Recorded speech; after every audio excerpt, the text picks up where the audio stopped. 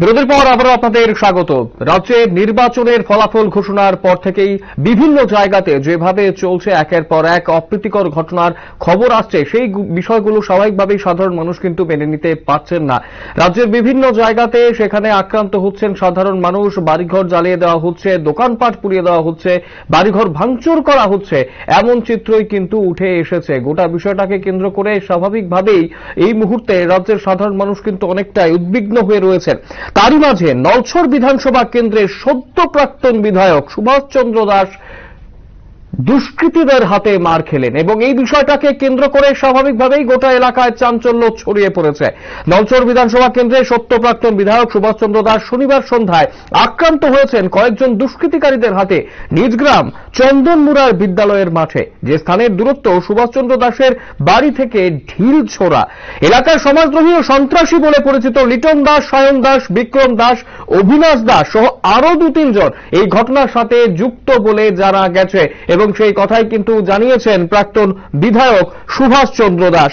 নৌচর বিধানসভা কেন্দ্রের প্রাক্তন বিধায়ক সুভাষচন্দ্র দাস এই বিষয়টা জানিয়ে থানায় এফআইআর করেছেন, তবে এই বিষয়টাকে কেন্দ্র করে স্বাভাবিকভাবেই সাধারণ মানুষের মধ্যে কিন্তু প্রশ্ন উঠতে শুরু করেছে। একজন প্রাক্তন বিধায়ক যদি সুরক্ষিত না থাকেন, তাহলে কীভাবে রাজ্যের সাধারণ মানুষ সুরক্ষিত থাকবে? এই প্রশ্নটাই কিন্তু ঘুরপাক খাচ্ছে সাধারণ মানুষের মধ্যে। গোটা বিষয়টাকে কেন্দ্র করে ইতিমধ্যেই সুভাষচন্দ্র দাস প্রাক্তন বিধায়ক, তিনি কিন্তু থানায় মামলা দায়ের করেছেন, কয়েকজনের নামধাম দিয়ে মামলা দায়ের করেছেন এবং যেটা জানা গেছে নৌচর বিধানসভা কেন্দ্রে সদ্য প্রাক্তন বিধায়ক সুভাষচন্দ্র দাস শনিবার সন্ধ্যায় আক্রান্ত হয়েছেন নিজ গ্রাম চন্দনমুড়ার বিদ্যালয়ের মাঠে। সেই স্থান থেকে সুভাষচন্দ্র দাসের বাড়ি কিন্তু ঢিল ছোড়া দূরত্বে ছিল এবং সেই জায়গাতেই আক্রান্ত হয়েছেন তিনি। এলাকার সমাজদ্রোহী ও সন্ত্রাসী বলে পরিচিত লিটন দাস, সায়ন দাস, বিক্রম দাস, অভিনাশ দাস সহ আরও দু তিনজন এই ঘটনার সাথে জড়িত বলে জানা গেছে। স্থানীয় লোকজন এবং বিধায়কের দুই ছেলে আক্রমণকারীদের প্রতিরোধে এগিয়ে এলে এরা বিধায়ক সহ তার দুই ছেলেকে মারধর করেছে বলে জানা গেছে। যাওয়ার সময় ধুমকি ও হুমকি দিয়ে গেছে। বিধায়ক সহ তার দুই ছেলেকে প্রাণে মেরে ফেলে বাড়িঘর জ্বালিয়ে পুড়িয়ে দেবে এমনই কিন্তু গুরুতর হুমকি দিয়ে গেছে। স্বাভাবিকভাবেই সদ্য প্রাক্তন হওয়া বিধায়ক সুভাষচন্দ্র দাস সোনামুড়া থানায় একটি লিখিত অভিযোগ দায়ের করেছেন আক্রমণকারীদের বিরুদ্ধে এবং দলীয় উদ্ধতন নেতৃত্বের কাছেও ঘটনার বিবরণ জানিয়েছেন। স্বাভাবিকভাবেই এই ঘটনার পরিপ্রেক্ষিতে একটা চাঞ্চল্য ছড়িয়ে পড়েছে গোটা এলাকায় এবং রাজ্যের মুখ্যমন্ত্রী যে জায়গাতে বলছেন যে কোনোভাবেই এই পোস্ট পোল ভায়োলেন্স বরদাস্ত করা হবে না, কিন্তু তারপরেও যেভাবে ঘটছে রাজ্যের বিভিন্ন জায়গাতে এই ঘটনাগুলো, সেগুলো কিন্তু স্বাভাবিকভাবেই চিন্তায় ফেলে দিচ্ছে রাজ্যের রাজ্যের শুভবুদ্ধি সম্পন্ন মানুষকে। সদ্য প্রাক্তন হওয়া বিধায়ক সুভাষচন্দ্র দাস নৌচর বিধানসভা কেন্দ্রের তার উপরও আক্রমণ করেছে দুষ্কৃতিকারীরা। এই বিষয়টাকে কেন্দ্র করে এই মুহূর্তে কিন্তু চাঞ্চল্য ছড়িয়ে পড়েছে গোটা এলাকায়। কি বলছেন সুভাষ চন্দ্র দাস? এই বিষয়টাকে কেন্দ্র করে শুনব। গুলো বলছি আপনাদেরকে, যারা যারা এগুলি করল। প্রথমে এসে আমাকে খুব ধমকাধমকি করল, লাঠি নিয়ে আইলো, এরপরে আমাকে ধাক্কা দিল।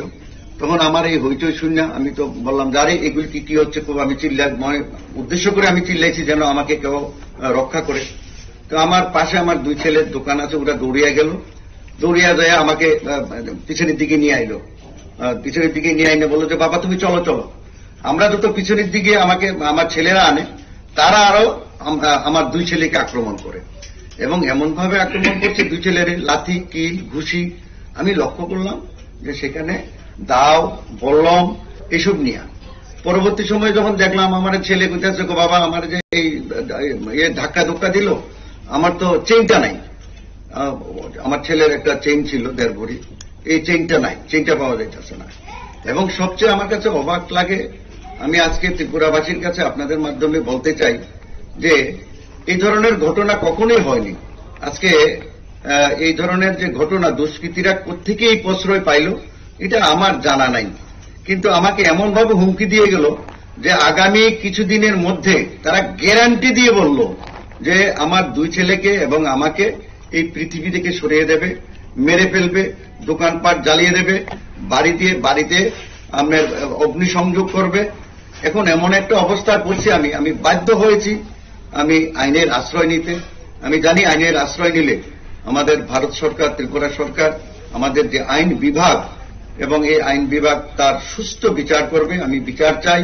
কোনো ভাবতে পারিনি এই জাতীয় ঘটনা। চন্দ্রমোড়াতে এখন থেকে আজকে পাঁচ বছর ধরে কোথাও কোনো অপ্রীতিকর ঘটনা কখনো হয়নি। আজকে এই জানি না কার প্রলোভন করে এই জাতীয় কাজগুলো করছে এই দুষ্কৃতিকারীরা। আপনাদের মাধ্যমে তার বিচার চাই। আমি ত্রিপুরাবাসীর কাছে আমার এই বক্তব্য, আমি ত্রিপুরাবাসীর কাছে আমার প্রণাম জানিয়ে আমি আপনাদের সবার সাহায্য চাই। ত্রিপুরাবাসী, আমার যেভাবে ওরা হুমকি দিয়ে গেল, আমার দুই সন্তান এবং আমাকে আপনাদের সাহায্য চাই, আমাকে বাঁচার ব্যবস্থা করে দিন নমস্কার। আপনারা শুনলেন নলছরের যিনি প্রাক্তন বিধায়ক রয়েছেন সুভাষচন্দ্র দাস তিনি কি বলেছেন এবং হাতজোর করে এক প্রকার ত্রিপুরাবাসীর কাছে প্রাণ ভিক্ষা চাইলেন তিনি এবং সবার সাহায্য প্রার্থনা করলেন নলছরের এক্সএমএলএ সুভাষচন্দ্র দাস। গোটা বিষয়টাকে কেন্দ্র করে স্বাভাবিকভাবেই কিন্তু এলাকায় চাঞ্চল্য ছড়িয়েছে। আমাদের সঙ্গে এই মুহূর্তে জুড়ে গেছেন সোনামুড়া থেকে অমিত দত্ত আরও বিস্তারিত জানব তার কাছ থেকে। অমিত দা, যে ঘটনাটা ঘটেছে এই বিষয়টাকে কেন্দ্র করে আর কি বিস্তারিত তথ্য রয়েছে তোমার কাছে? পুলিশের কি ভূমিকা এখনও পর্যন্ত দেখতে পাচ্ছ?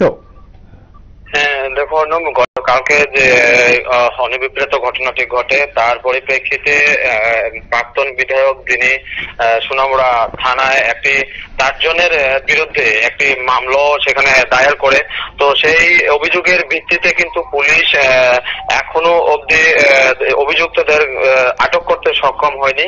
তো যে বিষয়টা জানা যাচ্ছে যে পুলিশের কাছ থেকে যেটা জানা জানা গেছে যে পুলিশ যথারীতি ব্যবস্থা নেওয়ার চেষ্টা চালাচ্ছে। তো সেই ক্ষেত্রে যারা অভিযুক্ত রয়েছে ওনাদের এখনও তাদের খোঁজ মেলেনি। তবে পুলিশ তাদের অভিযান জারি রেখেছে। একজন এই বিষয়টাকে কেন্দ্র করে সাধারণ মানুষের কি প্রতিক্রিয়া? কারণ সদ্য প্রাক্তন হওয়া একজন বিধায়ক তিনি যদি সুরক্ষিত না থাকেন, তাহলে তো স্বাভাবিকভাবেই সাধারণ মানুষের সুরক্ষা নিয়েও প্রশ্ন উঠবে। একদমই একদমই।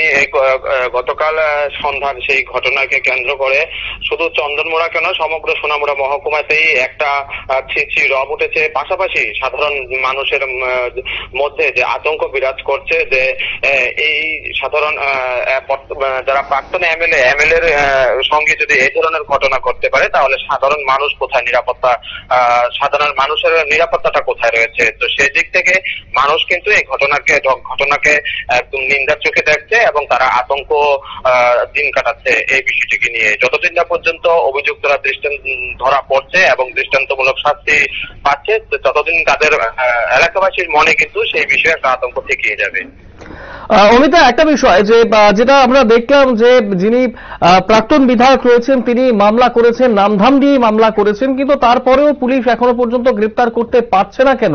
আর সেই জায়গাতে পুলিশের কি যে কার্যকলাপ, সেটা নিয়ে কি কোনো বিষয় রয়েছে? সেটা নিয়ে কি কোনো প্রশ্ন উঠছে এই মুহূর্তে? দেখো অর্ণব, পুলিশের সঙ্গে যেটা কথা বলে জানা গেল পুলিশ কিন্তু অভিযোগের অভিযোগ পেয়েই কিন্তু সঙ্গে সঙ্গেই পুলিশ ফোর্স সেখানে অভিযুক্তদের তল্লাশিতে পাঠা- পাঠায়। কিন্তু অভিযুক্তরা কিন্তু সেই গা- টাকা দিয়ে দেয় সঙ্গে সঙ্গে ঘটনার পরেই। তো সেই দিক থেকে পুলিশ যেটা বলেছে যে তারা তাদের অভিযান জারি রেখেছে। যখনই অভিযুক্তরা তাদের জালে উঠবে আমাদের আমাদের জানাবে এবং সবার সম্মুখেই সেটাকে তুলে আনবে এবং তাদের উপযুক্ত তদন্তক্রমে উপযুক্ত শাস্তির ব্যবস্থাও করবে। একদম। অসংখ্য ধন্যবাদ অমিত দা বিস্তারিত তথ্য তুলে ধরার জন্য। স্বাভাবিকভাবেই এই বিষয়টাকে কেন্দ্র করে এলাকায় কিন্তু চাঞ্চল্যের পরিবেশ রয়েছে এবং একটা প্রশ্ন যেটা ঘুরপাক খাচ্ছে এই মুহূর্তে, যে সদ্য প্রাক্তন হওয়া একজন এমএলএ, তার উপরে যদি আক্রমণ হয় তিনি যদি সুরক্ষিত না থাকেন, তার যদি হাত জোর করে গোটা রাজ্যের মানুষের কাছে এক প্রকার প্রাণ ভিক্ষা চাইতে হয়, সাহায্য চাইতে হয়, তাহলে সাধারণ মানুষের কি পরিস্থিতি দাঁড়াবে সেখানে? এই বিষয়গুলো নিয়ে কিন্তু এই মুহূর্তে স্বাভাবিকভাবেই বিভিন্ন প্রশ্ন উঠতে শুরু করেছে। নলছর বিধানসভা কেন্দ্রের প্রাক্তন বিধায়ক সুভাষচন্দ্র দাসের উপর গতকাল আক্রমণ আক্রমণের ঘটনা ঘটেছে। তিনি এবং তার দুই ছেলেকে মারধর করেছে দুষ্কৃতীরা, এমনটাই কিন্তু জানা গেছে। প্রসঙ্গত উল্লেখ্য নলছর বিধানসভা কেন্দ্র থেকে ভারতীয় জনতা পার্টির কিশোর বর্মন তিনি বিজয়ী হয়েছেন এবং স্বাভাবিকভাবেই তিনি কি করেন এই বিষয়টাকে কেন্দ্র করে এবং পুলিশ আধিকারিকরাই বা কি করে সেটাও দেখার বিষয়। সমান ছোট বিজ্ঞাপন বিরতির, রয়েছে অন্যান্য সংবাদ। সঙ্গে থাকবেন।